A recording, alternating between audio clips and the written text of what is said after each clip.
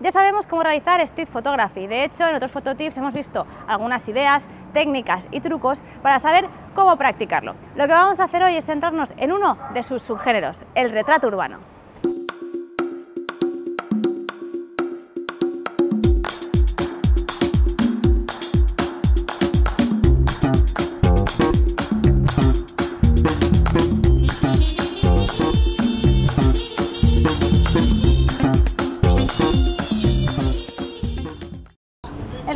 Consiste básicamente en fotografiar personas desconocidas por la calle pidiendo su consentimiento, ya sea antes o después de fotografiarlas.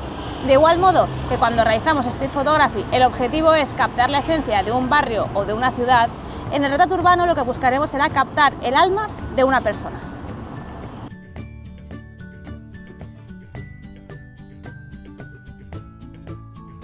Hoy vamos a conocer técnicas, trucos y consejos para practicar el retrato urbano.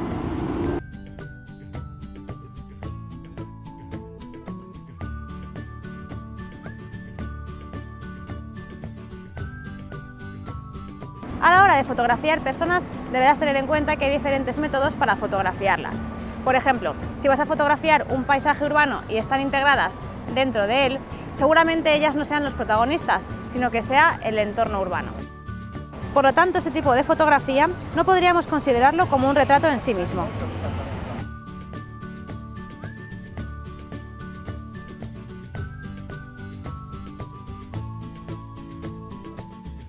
Sí que podríamos considerar un retrato aquellas personas a las que fotografiamos, pero que no lo saben, sino que van a lo suyo y no se están dando cuenta de que los estás fotografiando.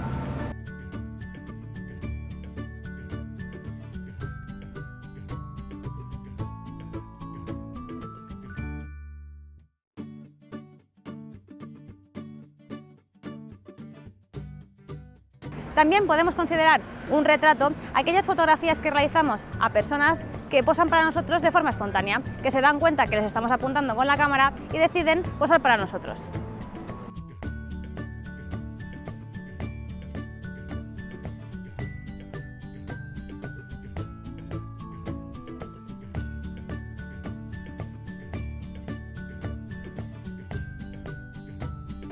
Otro método interesante para fotografiar personas consiste en disparar justo en el momento en el que se dan cuenta que los estamos fotografiando. Es captar justo ese momento en el que descubren que están siendo apuntados con nuestro objetivo.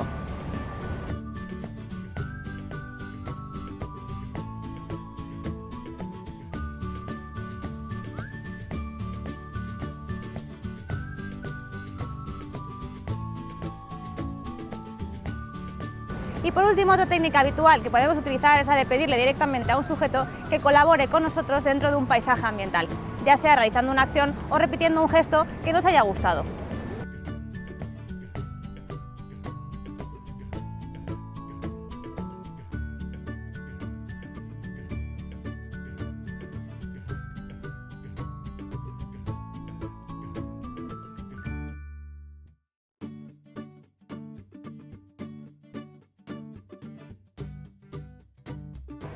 Lo primero es que venzas el miedo al rechazo. Si te acercas a una persona y le preguntas si puedes fotografiarla, puede que te diga que sí o puede que te diga que no, pero si eres amable con ella, su negativa también será normalmente amable, así que no tengas miedo de preguntar. Si te acercas y le preguntas, por ejemplo, si puedes fotografiarla porque te gusta su estilo de vestir o un detalle de su ropa o de su físico, a lo mejor se siente halagada y te dice que sí. De todas maneras, no tienes nada que perder, sigue siendo una persona desconocida, así que atrévete.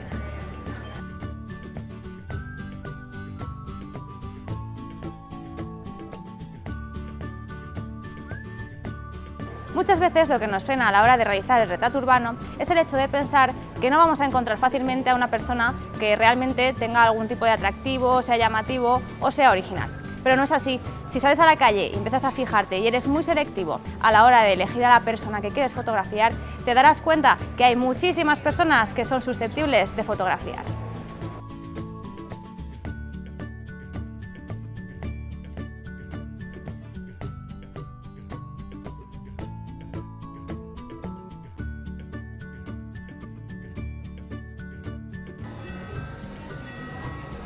Conoces el dicho, los ojos son el espejo del alma. Y la verdad es que la mayoría de cuadros famosos que conocemos retratan a un sujeto que nos mira directamente.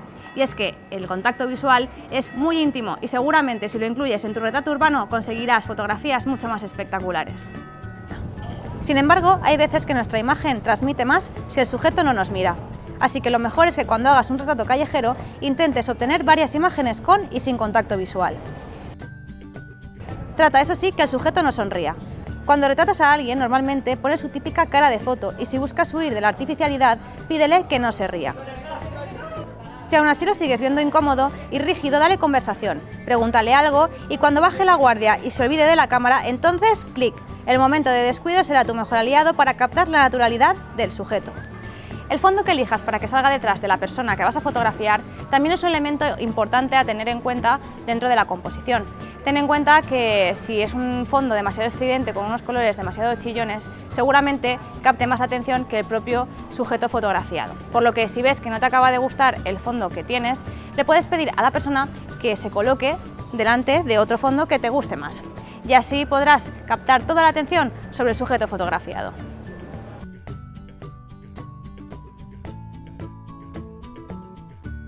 Si coincide que el fondo es ideal para tu captura y no distrae la atención de tu composición, estupendo.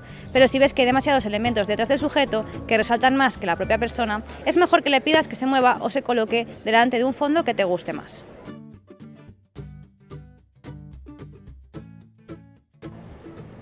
Otro recurso que puedes utilizar es el de captar los gestos. Te darán mucho dinamismo y mucho realismo en tus retratos. La verdad es que es una excusa perfecta para acercarte a alguien y decirle que repita un gesto que te haya gustado. Te sorprenderá la cantidad de gente que lo repetirá solo para ti. Quitarse unas gafas de sol, inhalar el humo de un cigarrillo o un gesto pensativo de una mano en la barbilla pueden ser muy llamativos para tu composición. Un gesto es la mejor excusa para acercarte a un sujeto y decirle, perdona, ¿puedes repetir eso otra vez? Ese gesto, y te sorprenderá la cantidad de personas que lo repetirán. Por otro lado, debes tener en cuenta que no siempre es necesario que fotografíes la cara de las personas. Muchas veces un pequeño detalle dice mucho más de un rostro. Las manos, los pies, un accesorio. Además, será mucho más difícil que los sujetos rechacen ser retratados, ya que al no salir su rostro, se sentirán más seguros.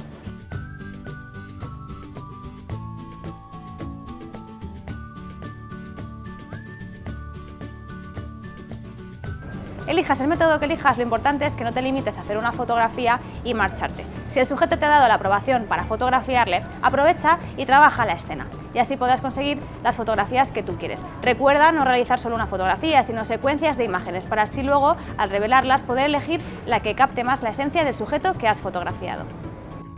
Si te quedas un poco más con el sujeto, podrás buscar encuadres que se salgan de lo común, Además de fijarte en el fondo, como ya te he comentado antes, puedes buscar puntos de vista originales, diferentes ángulos, perspectivas y distancias. De hecho, si ves que el sujeto no tiene prisa y se encuentra cómodo contigo, cambia de lente o de escenario.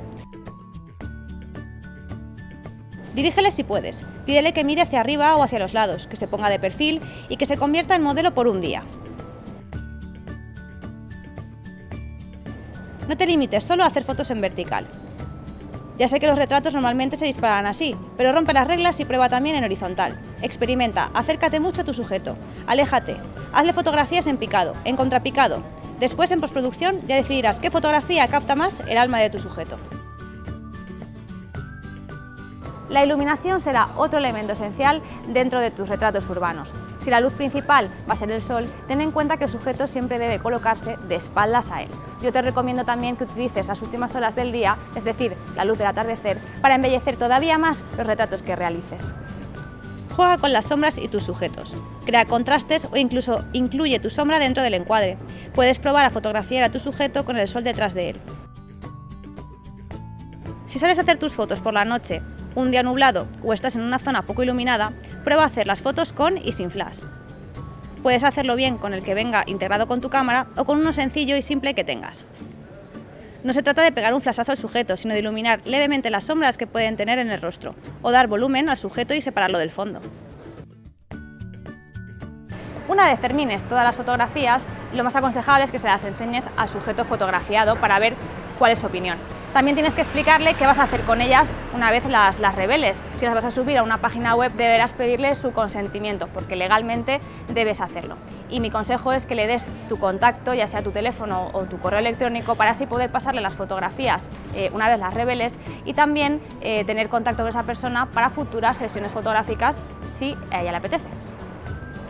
Por otro lado, yo te recomiendo recopilar datos relevantes de tu sujeto, como su nombre, edad, nacionalidad o incluso algún dato curioso de su vida.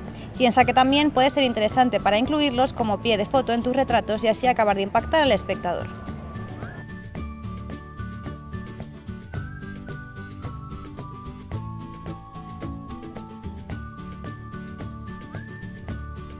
En resumen, estos serían algunos de los consejos básicos para hacer retratos urbanos. Vence el miedo al rechazo cuando pidas un retrato. Recuerda que el no ya lo tienes. Elige a tus sujetos por impulsos. Espera que algo te llame la atención y fíate de tu intuición. Busca el contacto visual si una mirada transmite mucho y espera el momento de descuido del sujeto para hacer tu captura. Atrapa los gestos y los detalles de las personas. No te limites solo a los rostros. Ten en cuenta el fondo del retrato, que no sea desagradable o distraiga demasiado la atención. Trabaja bien el encuadre, cambiando distancias y perspectivas. No tengas miedo a acercarte lo suficiente. Ilumina tus retratos con luz natural o usa flash si ves que lo necesitas.